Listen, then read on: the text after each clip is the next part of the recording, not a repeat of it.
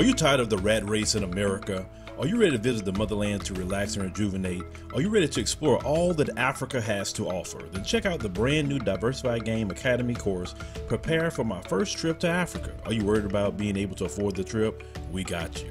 We will show you how to travel either on a budget or as a baller. Learn how to stretch the value of the USD did you know that 100 United States dollars is worth over 1,000 South African rand, or 10,000 Kenyan shillings, or 54,250 West African CFA? Are you worried about taking your kids? Get the game from Kellen Cash, a bona fide world traveler, having traveled to almost 20 countries, several of those in Africa.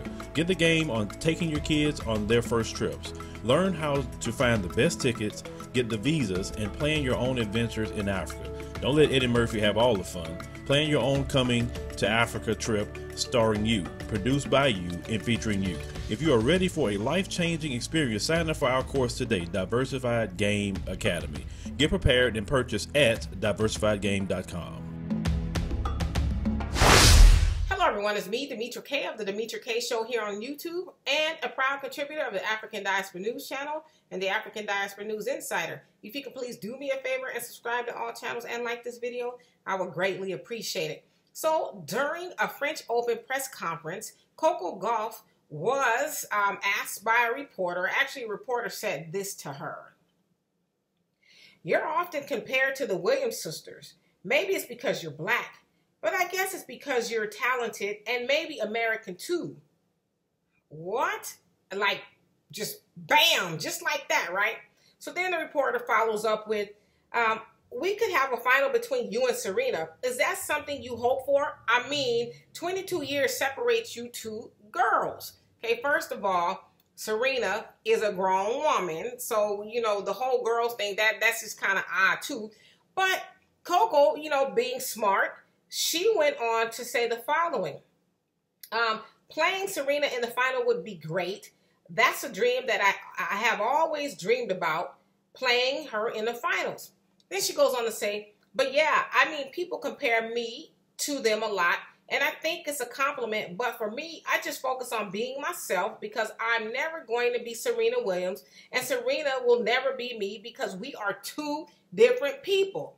All right, just putting a reporter on notice that I don't, hey, just because we're black don't mean we're the same. Because, you know, they like to make that comparison. Oh, all black people look alike. All right. Um, and, you know, it should be said that uh, Coco is uh, the youngest player, um, to, you know, to play there at the Women's Tennis Association, right? All right, so she also goes on to say, we have two different brains. I understand why people compare us, but I think it's just important that I want to be known as Coco. I don't want to be known as Serena Williams heir or Serena Williams next thing. I just want to be known as Coco Gauff.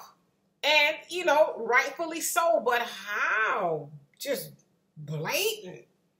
Is the reporter to come on and say, you know, it's because you're black. You, you guys are compared together because you're black. That's probably how they said it too, because you know they're in French, because you're black. it's like, Here. That's inappropriate to say to somebody, especially world class athletes, that you're compared to each other because you're black, not because we can whoop the pants off of any of these white girls running up and down these courts, not because, you know, Serena Williams is, I don't care what nobody say, the best athlete to grace planet Earth ever. Not because Coco is, you know, great at what she does at being so young but because you're black. It's like, get out of here. So anyway, um, they're being dragged on Twitter, and as they should be. I don't. They don't say their name. I guess you know they want to maybe keep it anonymous. I don't know, but I'm sure the name will come out. But anyway, you guys, you know, not because you're talented, but because you're black. So anyway, for more insightful commentary, please subscribe to this channel and my channel, The Demetra Kaye Show, here on YouTube. Peace. If you are over the age of 35, stop everything you're doing right now. After a lifetime of eating fatty foods, you may run the risks of a stroke or heart attack due to plaque buildup in your veins and arteries. To learn how you can reduce your risks, visit youthfountainlab.com or call 1 800 853 7856 today. This may be a life changing call for you or someone you love. Thank you, and we hope to hear from you. Hello, everyone. Please make sure you subscribe to the African Diaspora News Channel app on these platforms.